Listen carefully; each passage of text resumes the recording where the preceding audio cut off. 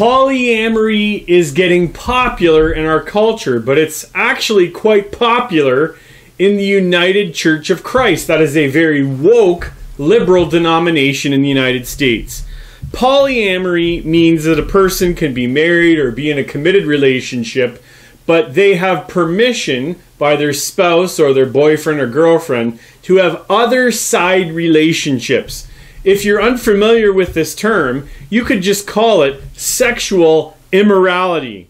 It's basically an approval, polyamory, of extreme sexual immorality out in the open. What people used to do in secret, now they're bragging about it and doing it right in the open you have to wonder in the near future, with regards to our North American culture, if any sexual sin will be looked down upon in our culture. Here's a minister saying that the practice of polyamory is really God given. It's just another, uh, I guess, color on the rainbow of God's gift to humanity. This is an Episcopal minister, by the way. Somehow, even now, even in 2024, there's something controversial about being gay, about being a lesbian, about being pansexual or polyamorous or asexual or any of the other beautiful God given shades of the rainbow. And because there's something different about it, there's power in standing up and being counted. Yes, you heard that. Sexual immorality that the Bible clearly condemns, according to this Episcopal preacher, is God approved. This next clip is particularly disturbing. It's an individual that says Jesus is polyamorous because Jesus has relationships with many people. Jesus is polyamorous. Yeah, you heard me right. Jesus is polyamorous. We know this already, though, even if we don't think about it or put it in those terms. If you're one of those Christians who believes in the importance of a personal relationship with Jesus, well, Jesus is having personal relationships with billions of other people too. And of course, this individual uses the straw man argument because Jesus is polyamorous, everyone else can be, and therefore he approves of and encourages this guy's sexual immorality. But was most disturbing for me and shocking is this last clip. The United Church of Christ, which, like I said, is an ultra woke and really wicked denomination.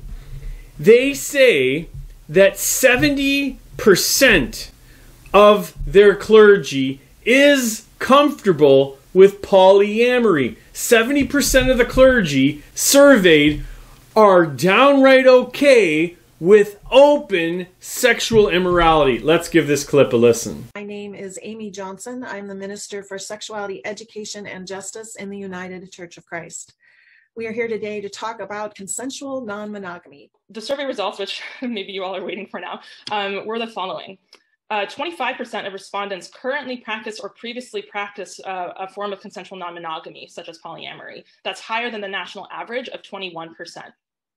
45%, so almost half of respondents have encountered polyamory and consensual non monogamy in a UCC context. That includes a pastoral care setting, a Bible study, the pro- open and affirming process that we have, or some other setting.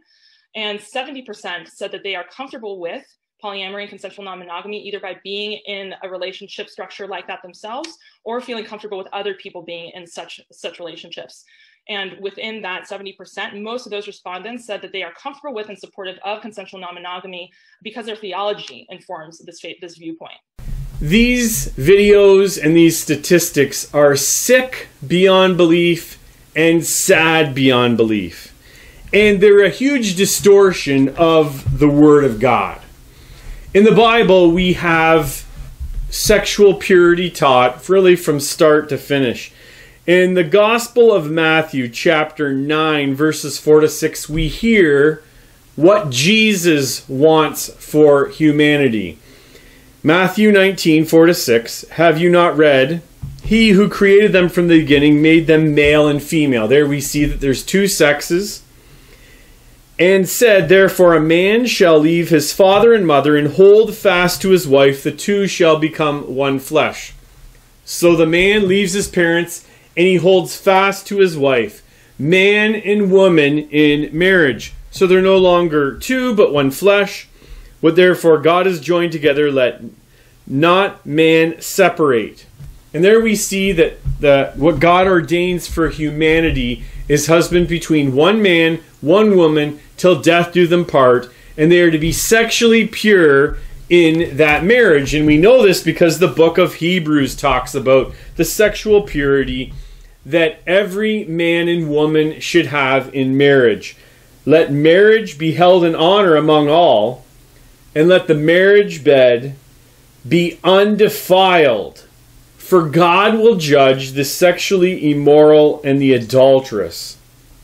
And here we see a very stark warning that we are to be sexually pure in marriage because God is a holy God who brings judgment upon the sexual immorality of individuals. Not only are these preachers lost, they need repentance, they need faith in the real Jesus Christ that the Bible talks about. Not only are these clips sad, they are just plain sick. And what I want to be, remind everyone of is that only Jesus saves. Only Jesus grants repentance and faith. And I pray that these people are brought to true repentance and true faith in the true Jesus found in the Word of God so they themselves can experience eternal life and joy, but they themselves as well can be released from the bondage of sin that they are under caused by the devil. Thanks for watching and God bless.